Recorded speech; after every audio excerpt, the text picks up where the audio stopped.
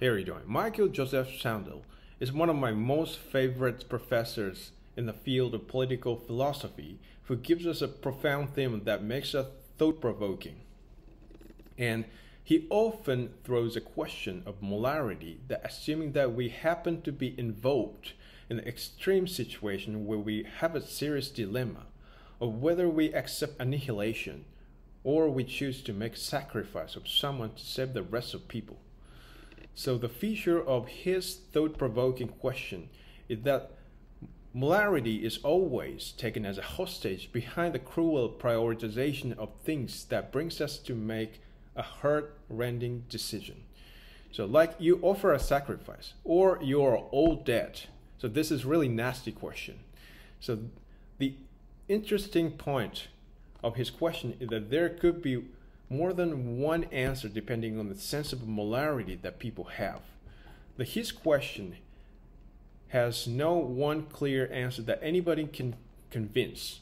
So the feature of his lecture is like trying to define molarity in extreme unavoidable situation where we face to accept sacrifice by discussing the best decision over molarity. But I realized that there is one thing in common about the discussion to find the best ethical decision against the act question he asks. The members who fall into uh, extreme situation, which he assumes don't sacrifice themselves as a premise. I mean, nobody will risk their lives to help the rest of people. So, in short, the concept of self sacrifice is eliminated as a premise. So everyone wants to be saved. So how can we give a priority to the things in morality to choose someone for sacrifice to save me and others? So this is the this is the this is only the condition to lead an answer of molarity against the question he asks to us. So for example, Mr. Sandel gave a question of molarity by taking the case of Mignonette as an example.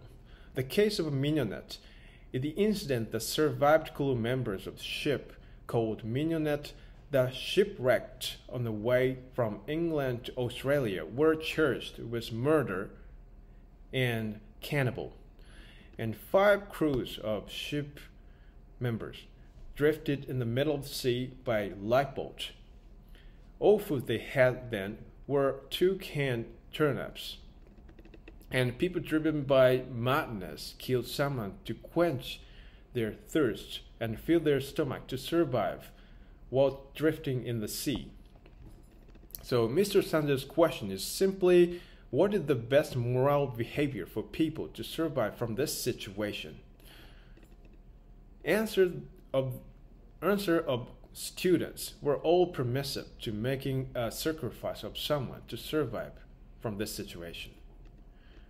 So, but they didn't have the thought of self-sacrifice, even though most of them seemed to believe in Christ.